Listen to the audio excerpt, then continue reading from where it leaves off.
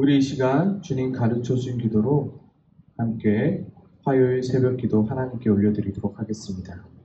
하늘에 계신 우리 아버지, 아버지의 이름을 거룩하게 하시며 아버지의 나라가 오게 하시며 아버지의 뜻이 하늘에서와 같이 땅에서도 이루어지게 하소서. 오늘 우리에게 일용할 양식을 주시고 우리가 우리에게 잘못한 사람을 용서해 준것 같이 우리 죄를 용서하여 주시고 우리를 시험에 빠지지 않게 하시고 악에서 구하소서.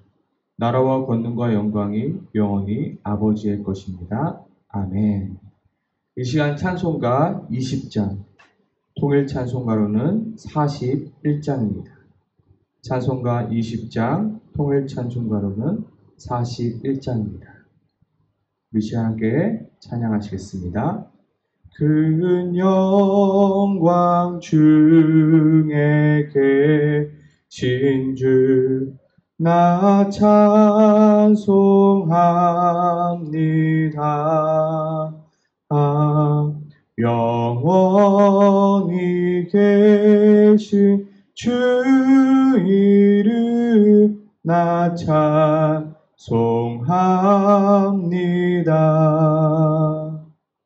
한없이 크신 능력을 나 찬송합니다.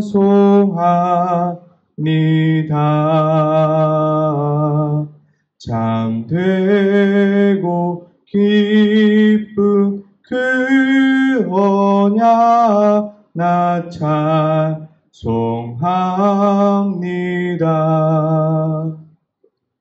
온 천지 창조하시던 그 말씀이 믿어 영원히 변치 않는 주 남이 싸옵니다. 그 온유하신 주음성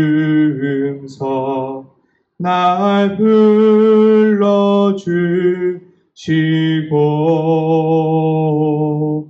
그 품에 품어 주시니 나 찬송합니다.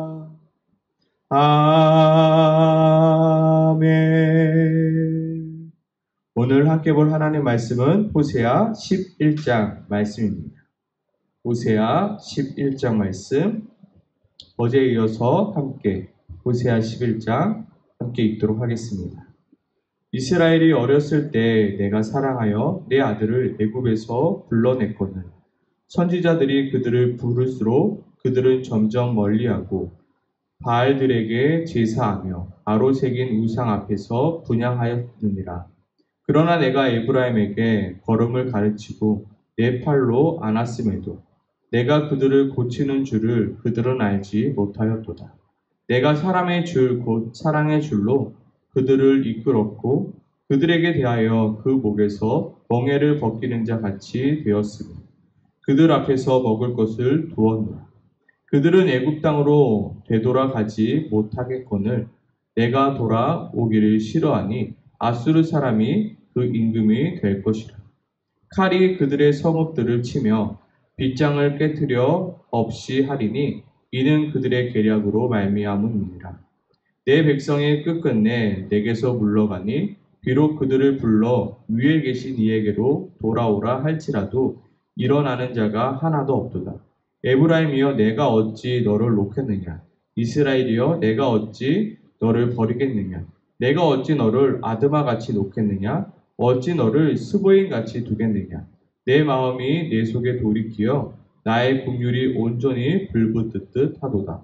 내가 나의 맹렬한 진도를 나타내지 아니하며 내가 다시는 에브라임을 멸하지 아니하리니 이는 내가 하나님이요 사람이 아님이라 내 가운데 있는 거룩한 이니 진노함으로 내게 임하지 아니하리라 그들은 사자처럼 소리를 내시는 여호와를 따를 것이다 여호와께서 소리를 내시면 자손들이 서쪽에서 부터 떨며 오되 그들은 애굽에서부터 새같이 아술에서부터 비둘기같이 떨며 오리니 내가 그들을 그들의 집에 머물게 하리라 나 여호와의 말이니라 에브라임은 거짓으로 이스라엘 족속은 속임으로 나를 애워쌌고 유다는 하나님 곧 신실하신 거룩한 자에게 대하여 정함이 없도다. 아멘. 오늘 본문을 통해서 하나님이 우리에게 주시는 말씀은 바로 우리가 구원받을 수밖에 없는 이유에 대한 말씀입니다. 우리가 구원을 받을 수밖에 없는 이유. 우리는 신앙생활을 하면서 문득 정말로 내가 천국에 갈 수 있을까라는 의심이 아닌 의심이 들 때도 있습니다. 특히나 변하지 않는 나의 옛 모습들이 불쑥불쑥 튀어나올 때 정말로 나는 구원받은 사람이 맞는가? 정말로 나는 하나님의 백성이 맞는가라는 의심이 들 때도 있습니다. 정말 나 같은 죄인도 구원을 받을 수 있을까? 우리는 정말 나 같은 죄인도 구원을 받을 수 있을까라는 질문에 대한 대답을 나에게서 찾는다면 우리는 결국 그 답에 해답을 찾을 수가 없습니다. 하지만 이 질문을 하나님에게서 찾으면 이 질문에 대한 해답을 찾을 수 있습니다. 오늘 함께 정말 나 같은 죄인도 구원을 받을 수 있을까에 대한 해답을 함께 같이 찾기를 소망합니다.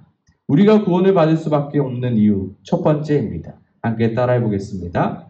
하나님께서 나를 건지셨기 때문입니다. 하나님께서 나를 건지셨기 때문입니다. 우리의 구원은 나로부터 시작된 것이 아니라 누구부터 누구로부터 시작되었나? 바로 하나님으로부터 시작되었습니다. 우리의 구원은 나의 결단, 나의 결심으로부터 시작된 것이 아니라 바로 하나님의 결단이요. 하나님의 결심으로부터 시작되었습니다. 우리의 구원은 내가 하는 것이 아니라 누가 하는 것일까요? 바로 하나님이 하시는 것입니다. 그렇기 때문에 우리는 구원을 받을 수밖에 없는 것입니다. 오늘 본문 1절을 살펴보겠습니다. 이스라엘이 어렸을 때 내가 사랑하여 내 아들을 애굽에서 불러냈거늘 오늘 본문 속 이스라엘을 외국으로부터 불러내신 분이 누구십니까? 바로 하나님이십니다.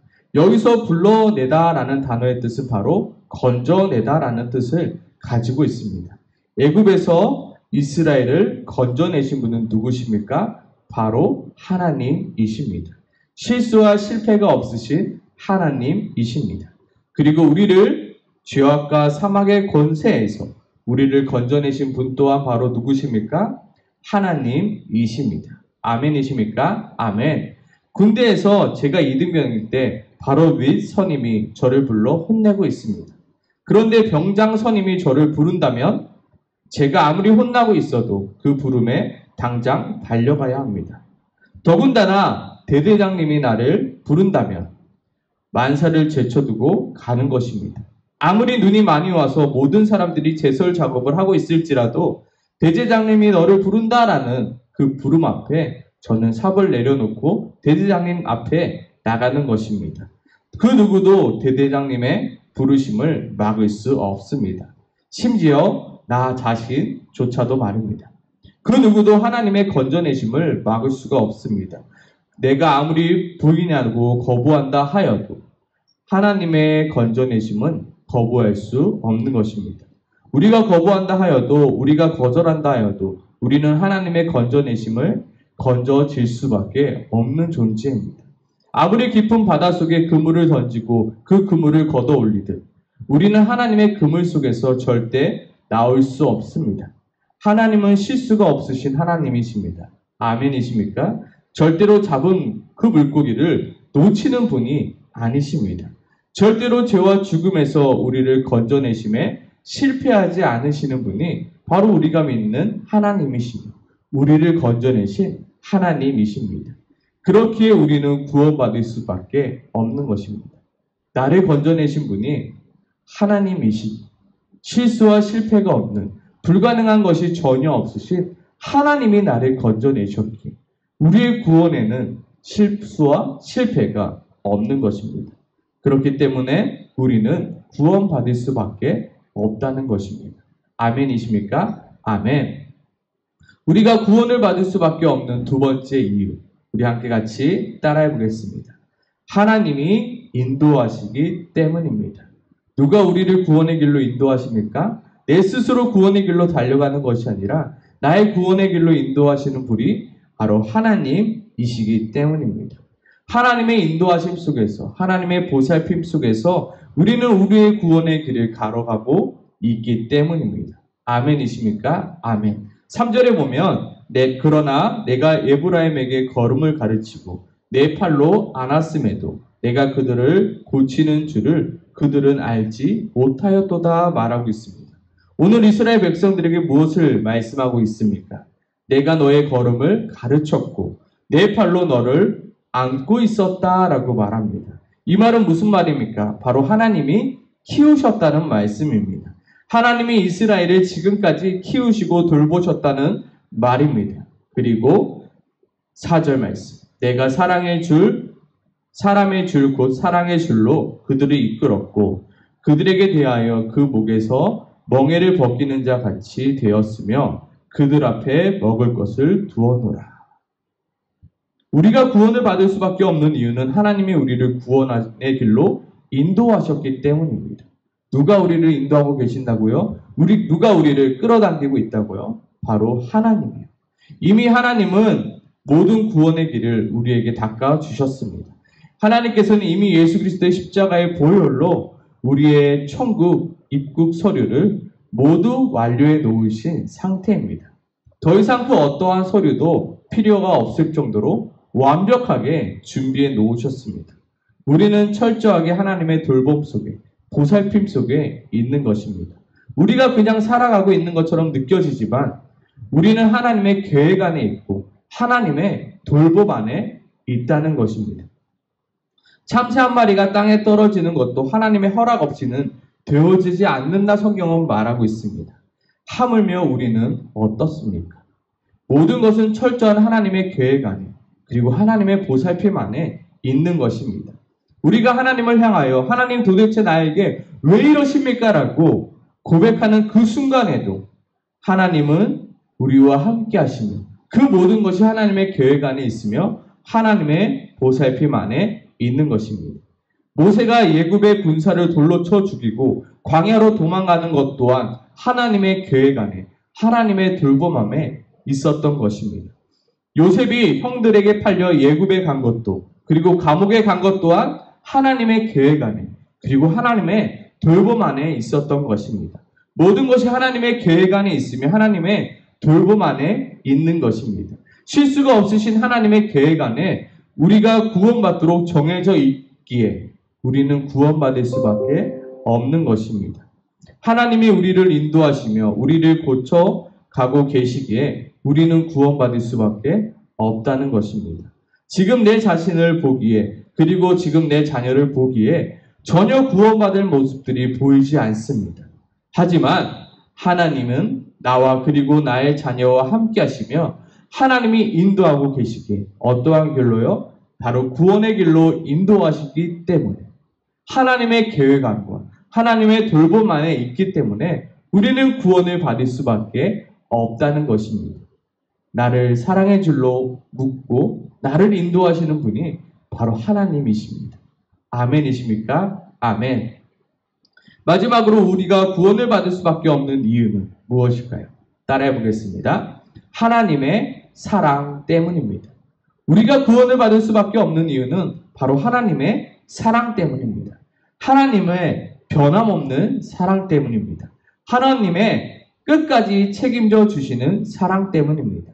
우리가 구원받을 수밖에 없는 이유는 하나님이 바로 우리를, 바로 나를 사랑하고 계시기 때문입니다. 8절 말씀을 함께 보겠습니다. 에브라임이여, 내가 어찌 너를 놓겠느냐? 이스라엘이여, 내가 어찌 너를 버리겠느냐?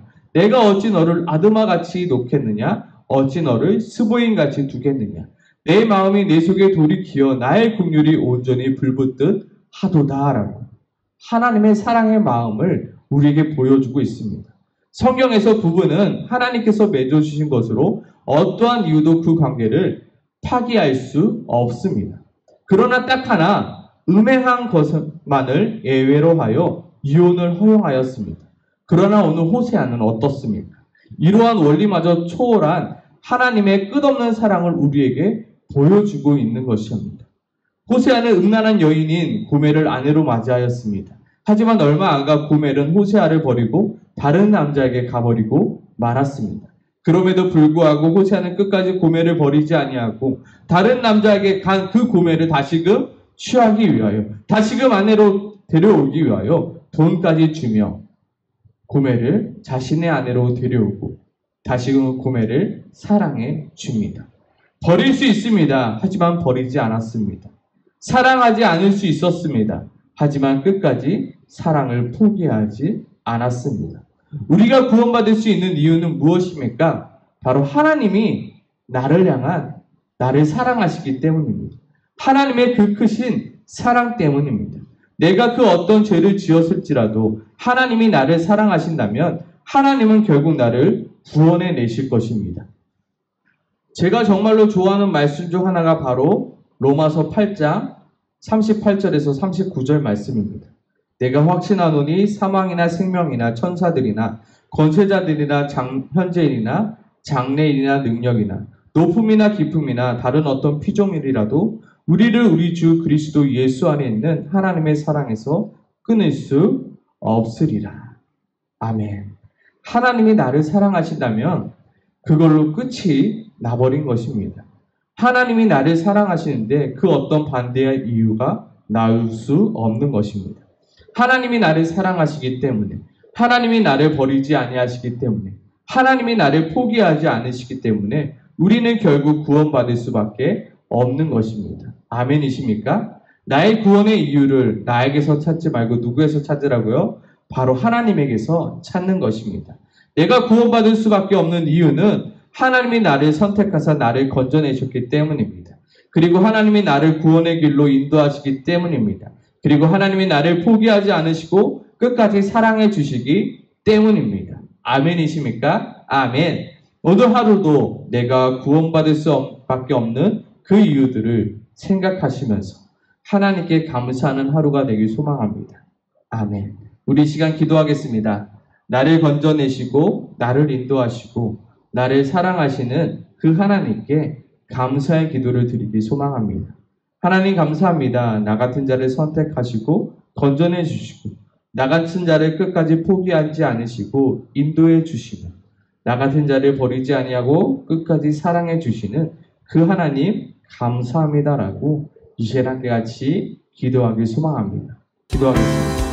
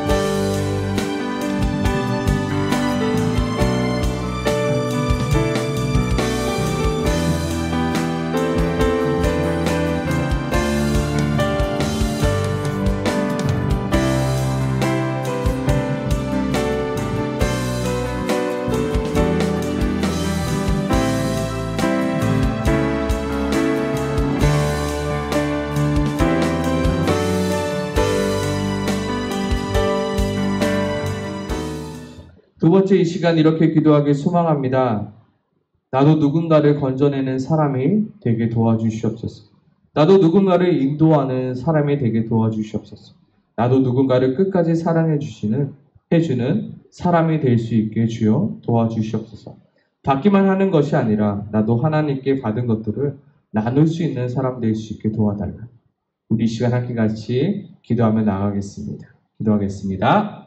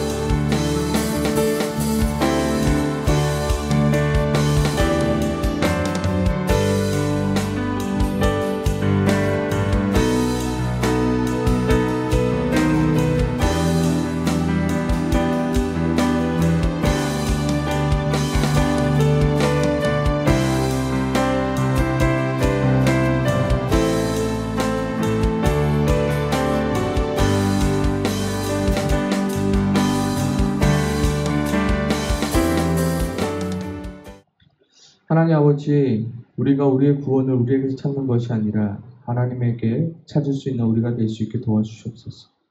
하나님이 나를 영원 전에 선택하시고 나를 건전해 주셨음을 우리가 믿을 수 있게 하시고 지금도 나를 인도해 주시며 구원의 길로 인도하고 계시며 지금도 내가 하나님의 계획 안에 하나님의 돌봄함이 있음을 늘 믿고 고백할 수 있도록 주님 도와주시옵소서. 그리고 우리가 가장 기억해야 될 그 크신 하나님의 사랑, 포기하지 않는 하나님의 사랑, 끝끝내 지키시는 그 하나님의 사랑을 아버지 우리가 기억할 수 있게 도와주시옵소서. 우리는 세상 가운데 살면서 넘어질 수도 있습니다. 실수할 수도 있습니다. 그럼에도 불구하고 우리가 구원받을 수밖에 없는 이유들을 우리가 기억하며 우리가 또한 고백할 수 있게 도와주시옵소서. 사단 마귀들은 우리들에게 손가락질합니다. 너가 이러고도 하나님의 백성이냐? 너가 이러고도 천국 백성이냐? 너가 이러고도 구원받을 수 있냐? 그때마다 우리가 고백하며 선포하며 나갈 수 있도록 주님 도와주시옵소서. 하나님이 나를 선택하셨어. 하나님이 나를 인도하시고 계시죠. 하나님이 나를 사랑하고 계셔. 그렇게 나는 구원받을 수밖에 없다라고 고백하며 선포하며 나가는 우리 모두가 될 수 있도록 주님 도와주시옵소서. 주 예수 그리스도의 은혜와 하나님의 사랑과 성령의 교통하심이 너희 무리와 함께 있을지어다. 아멘. 오늘 하루도 우리가 구원받은 이유들을 묵상하며 감사하며 지는 하루가 되길 소망합니다. 아멘. 감사합니다.